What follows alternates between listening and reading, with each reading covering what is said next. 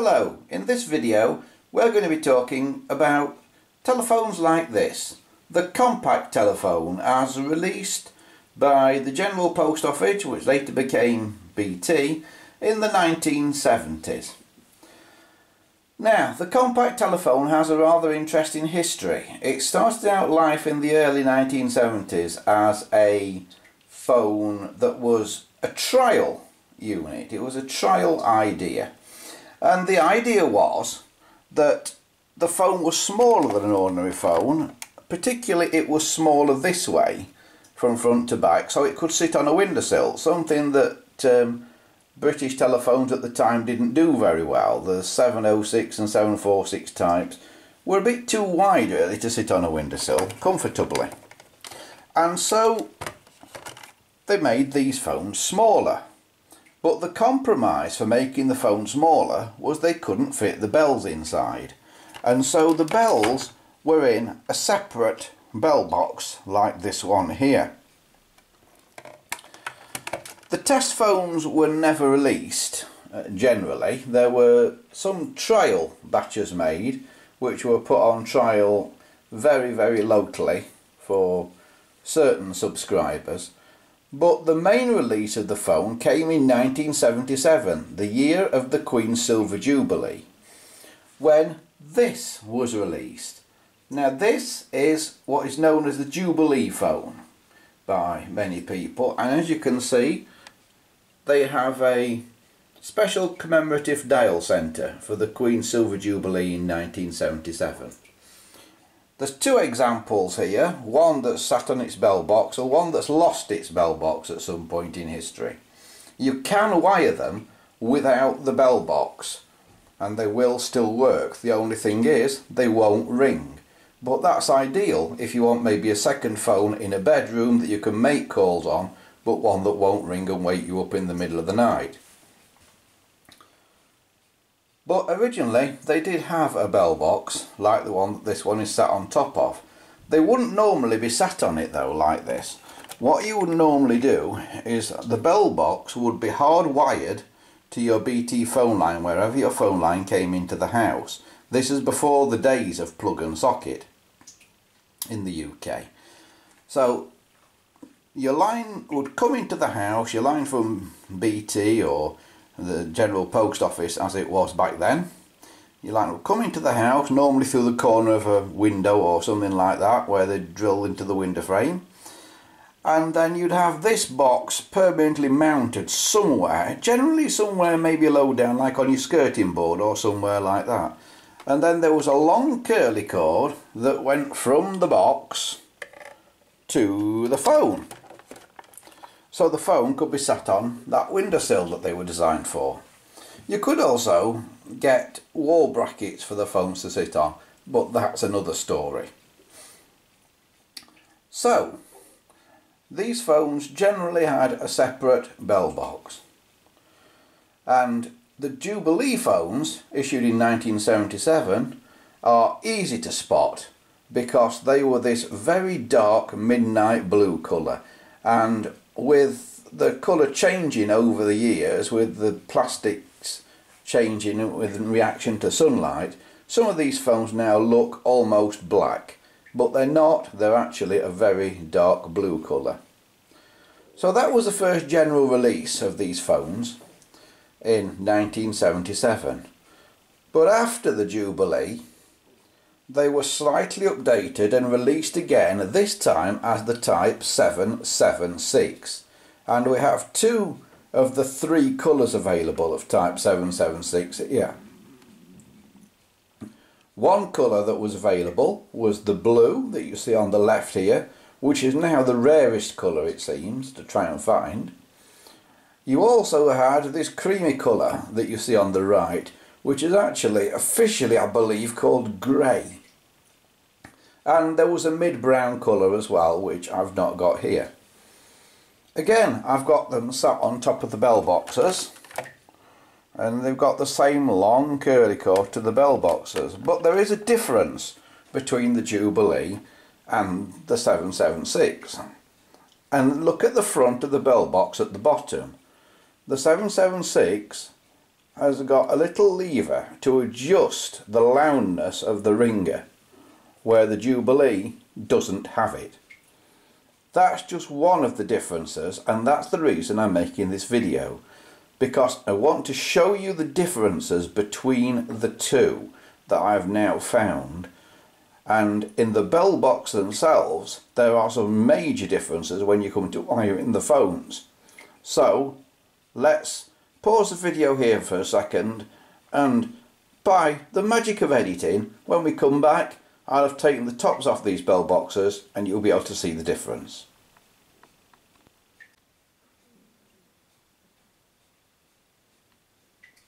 Welcome back.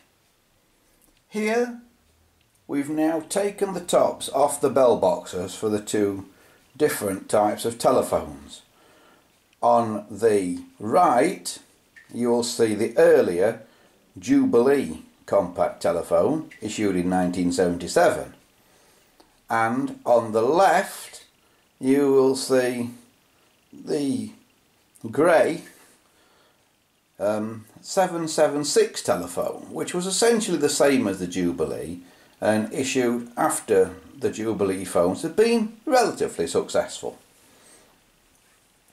Now the interesting part here is the inside of the bell boxes which are completely different.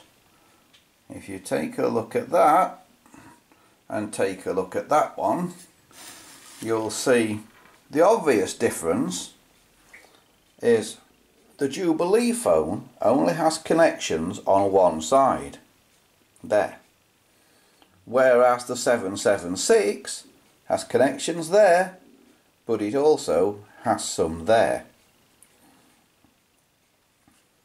The Jubilee phone does not have a ribbon cable running under here.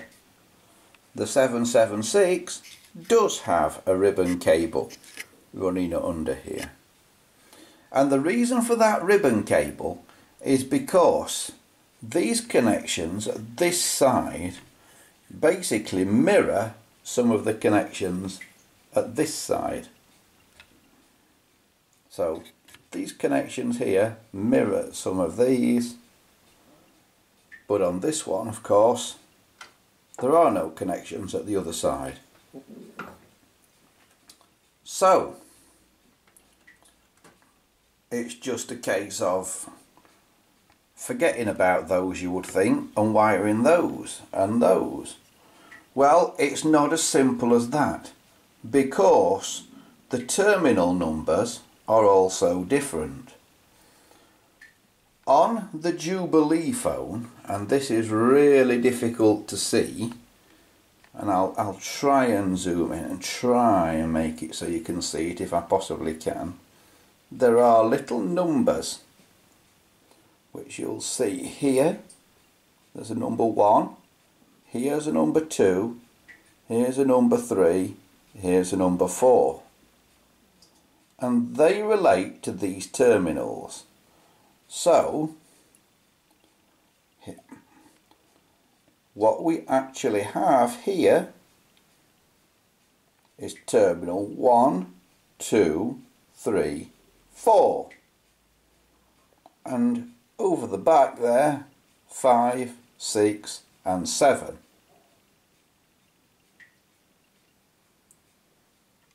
if you look very carefully you might just be able to make out a number 7 on that one there. Can you see that number 7? Okay. So, this is on the Jubilee phone. So on the Jubilee, looking at it with the bells at the bottom, the bell gongs at the bottom, it goes terminal 1, 2, 3, 4, 5, 6, 7 in the bell set. Okay. But look over at the 776 and it's different. And the giveaway here is up there which would normally be terminal 5, there's a number 10, which is upside down. And that's because this is wired to be seen the other way up. It's wired really to be seen that way up. And when you put it that way up, this one is wired terminals 1, 2, 3, 4, 5, 6, 7, 8, 9, 10 and that's where that number 10 is. You see? And then over on this side you'll see there's an 11 there. Can you see that 11 so that's 11 12 13 so the 776 is numbered differently in the bell set. With the 776 you have it with the bells at the top and count left to right top to bottom. 1 2 3 4 5 6 7 8 9 10 11 12 13 but with the Jubilee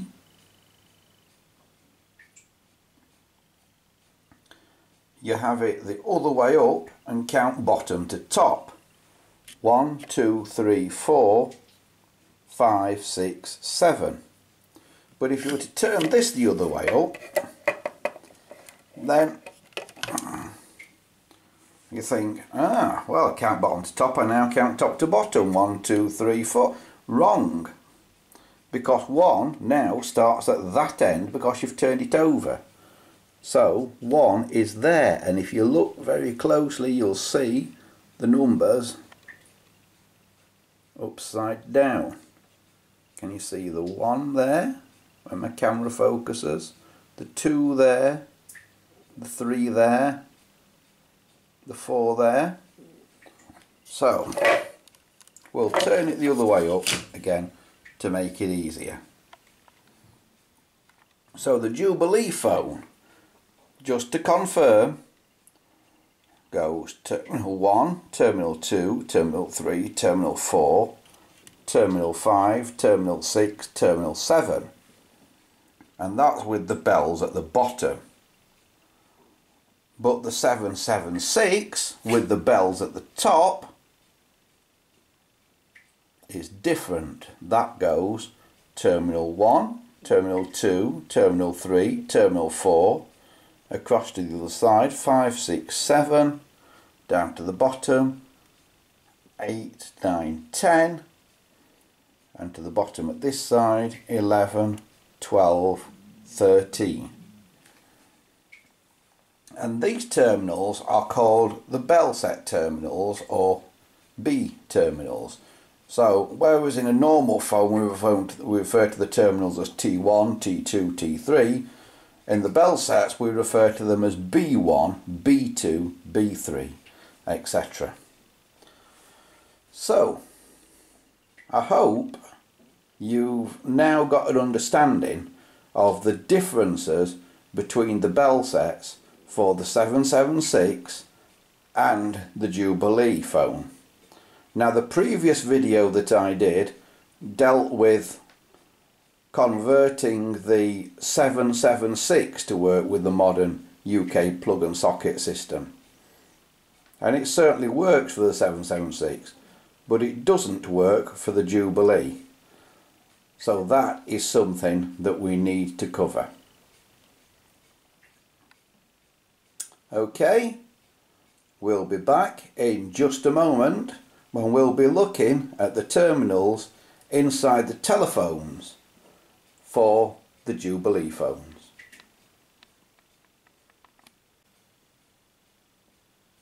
Okay, here are the two Jubilee phones with the top covers removed. If you want to know how to remove the covers, you do exactly the same on a 776.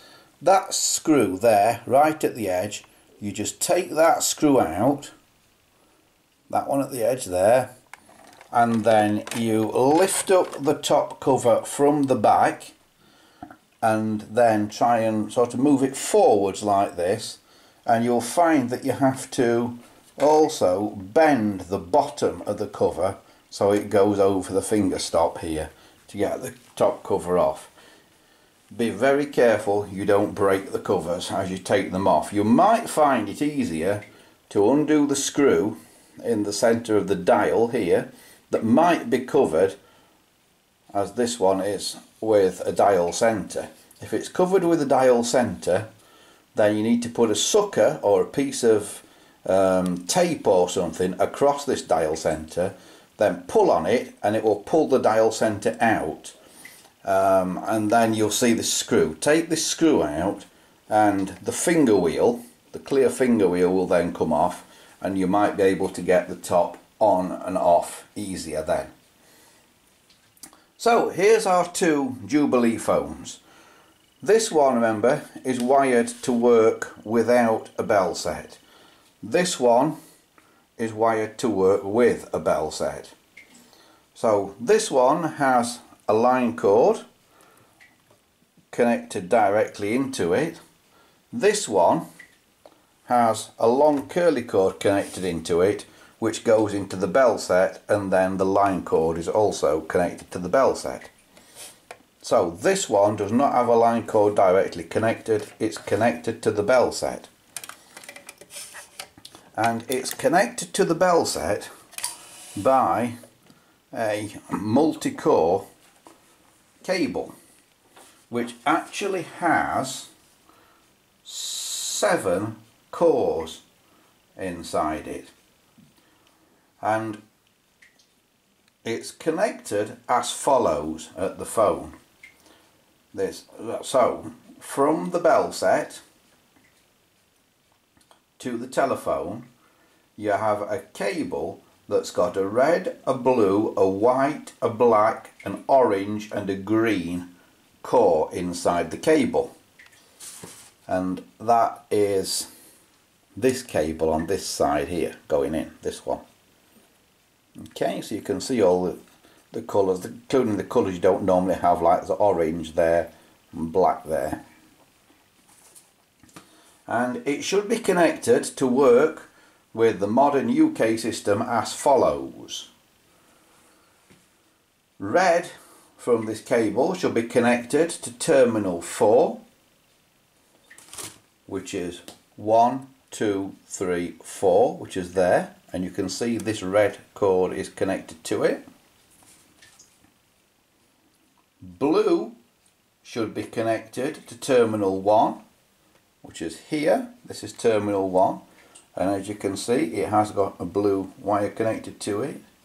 White should be connected to terminal 5 so turn 1, 2, 3, 4, 5 so this is 5 and it has got a white one on it here you can see. Black should be connected to terminal 9 so that that's terminal 5, 6, 7, 8, 9 is here and you can see it has got a black connected to it. Orange should be connected to terminal 8 and as you can see orange is on 8 here and green should be connected to terminal 7 which it is there. Okay, so that's where those should be connected in the telephone. Now at the bell set end, I'll tell you where they go at the bell set end. Okay, you're listening carefully for this?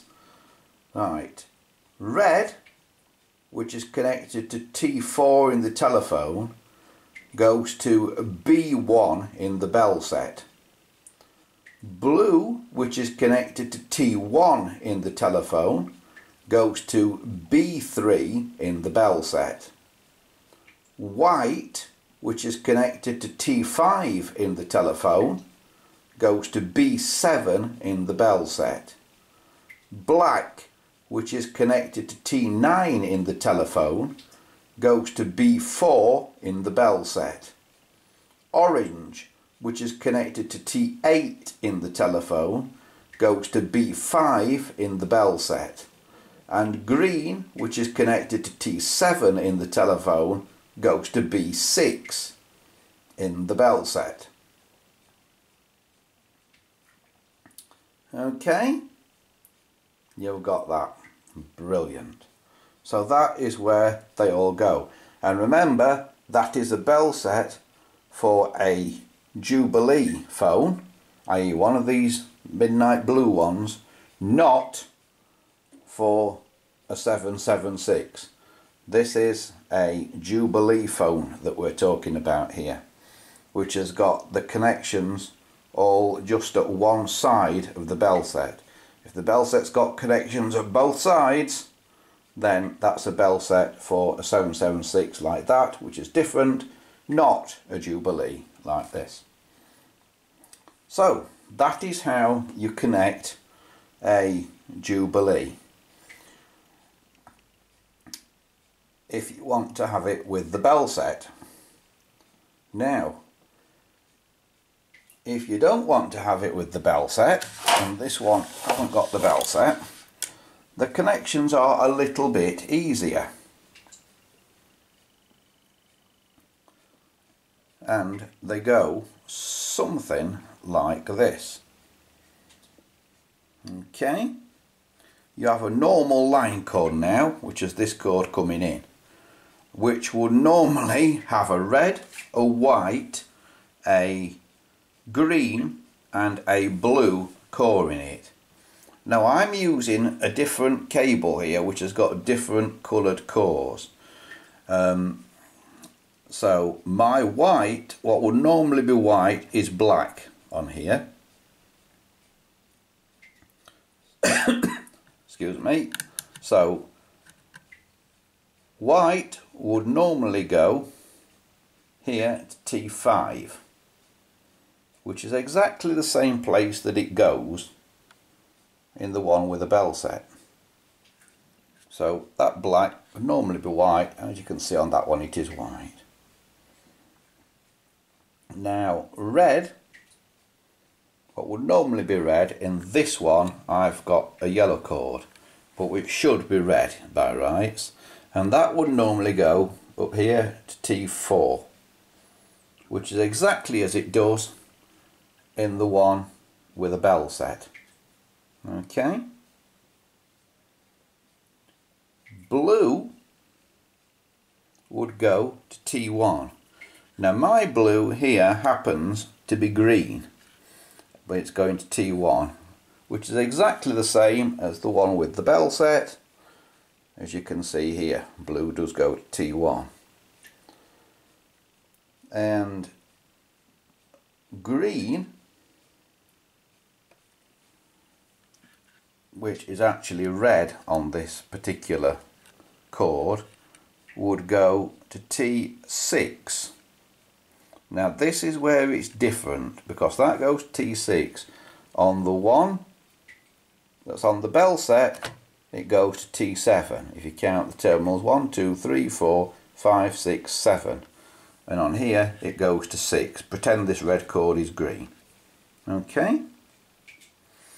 So that's the one that you move, the green one, when you're not using a bell set. I'm not entirely sure why, I've not looked into it why. It may be that you can put it on either one, but I just know that this version works. So I'd say do it the way that I'm saying here, move it over and it should work. Now, you don't move the receiver connections at all in any of these and you don't move the connections for the dial and I have been asked how you wire in the dials and the receivers um, because a chap called Peter contacted me and said he was putting one of these phones back together and he thought some of the connections had gone astray. So let's go and have a look at a wiring diagram to see where the connections go for the handset and the dial and we can do that best by getting over to the computer and having a look at a proper wiring diagram.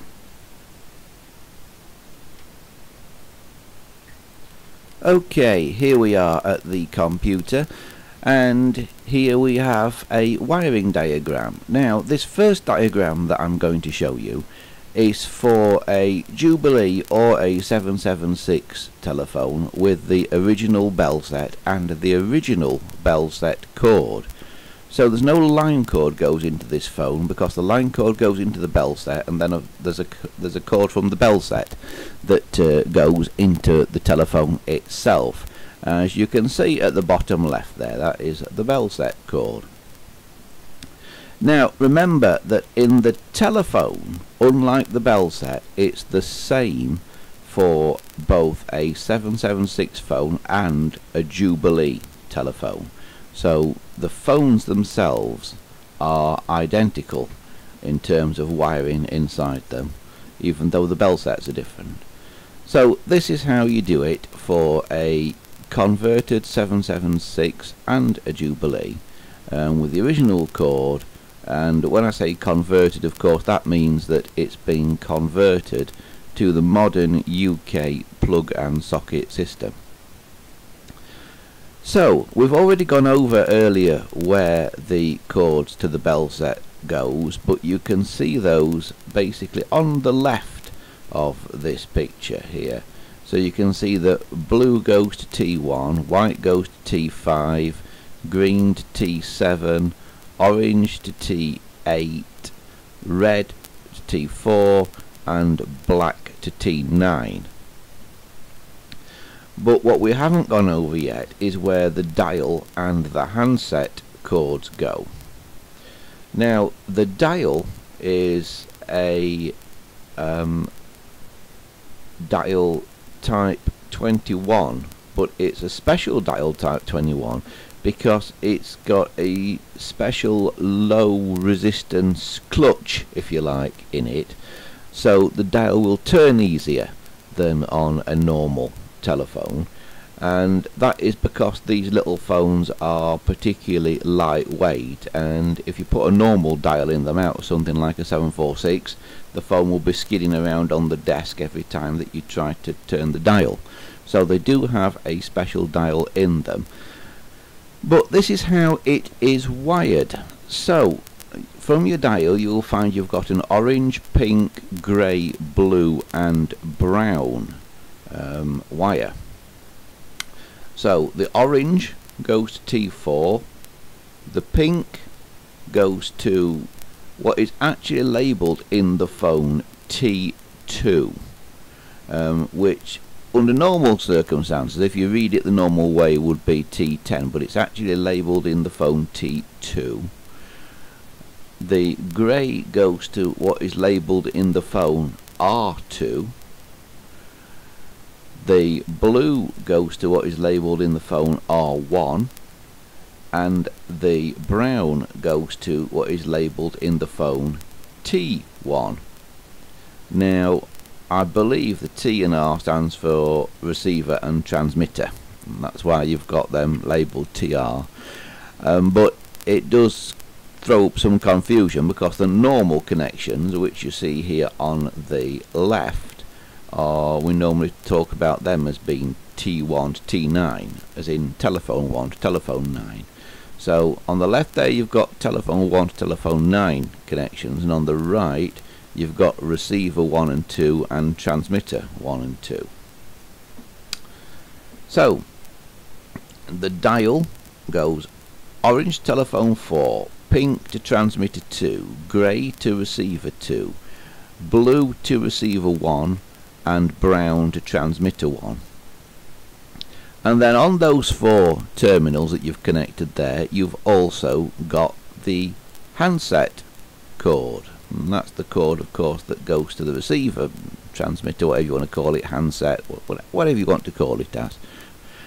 So in that cord you should have a white red green and a blue cable and they go as follows.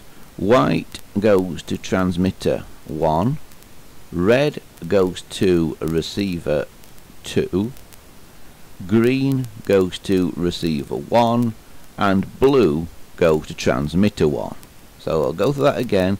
White to transmitter 2 red to receiver 2 green to receiver 1 and blue to transmitter 1 so that's how you do it for a converted phone with a bell set but these phones occasionally turn up without a bell set and you can wire one of these phones to work without using a bell set. And this is how you do it. So if you've not got a bell set if you want to use the phone to make and receive calls and you've got a separate bell somewhere. And bear in mind you've got to have a separate bell somewhere because you need to know when there's an incoming call and because this phone's got no bells it won't tell you. But if you've got a separate phone somewhere that will ring or if you've got a separate bell set that you plug into another socket somewhere that will ring um, then this is the way to wire one of these phones on its own. So this time you are putting a line cord into the phone and it's a standard line cord like you would fit to a Tele 706 or 746 etc so it's got a white, a blue, a green and a red um, cable in it. And these wires go as follows. White goes to telephone 5. Blue goes to telephone 1. Green goes to telephone 6. And red goes to telephone 4 then at the other end it's exactly the same as it was for the original bell set. So on your dial orange goes to telephone 4 pink goes to transmitter 2 grey goes to receiver 2 blue goes to receiver 1 and brown goes to transmitter 1 then the connections to your handset are white to transmitter 2, red to receiver 2, green to receiver 1 and blue to transmitter 1. So on that side, on the right hand side there, it's exactly the same as it was for the one with the bell set, as you can see there.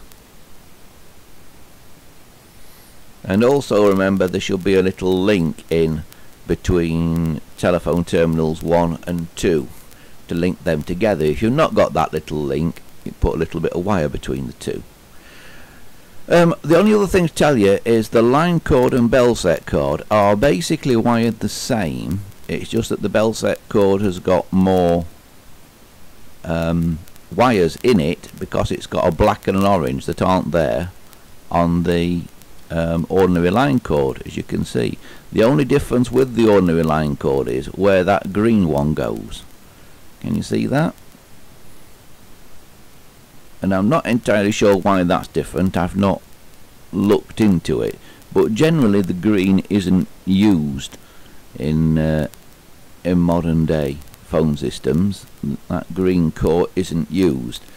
So I think they are probably just blank terminals and it's just that they've been put onto different ones. You know different blank terminals but I think you'll find it would probably be safe to not connect that green up as well if you didn't want to connect it up. I think you'd be okay. That's the one to the bell set or line cord as you can see there so that is how you wire up a Jubilee telephone. I hope that has helped anyone who's trying to do it and as always if you've got any questions please feel free to leave them in the comments section below. Or you can also get over onto uh, our website uh, if you like and uh, that is here at andyshed.copress.net and you can uh, send us a message through that as well. If you've enjoyed this video and you would like to see some more, we also now have a way that you can support us for a small monthly donation via Patreon. If you'd like to go and take a look at that and consider supporting the show, then go to patreon.com forward slash Andy's Shed and also remember that uh, we would like you to like and subscribe. So hit that little uh, subscribe icon there on YouTube. And uh, also the bell icon as well to get the notifications when we put up a new video. Until next time though from me thanks for watching